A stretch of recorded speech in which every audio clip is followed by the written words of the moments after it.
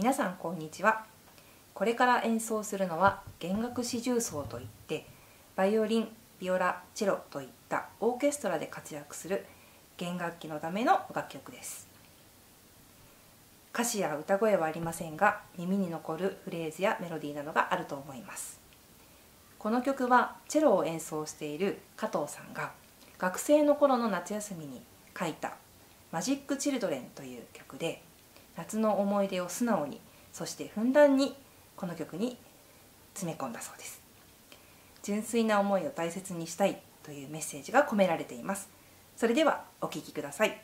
カルテット・シスレーによる演奏で「マジック・チルドレン」どうぞ。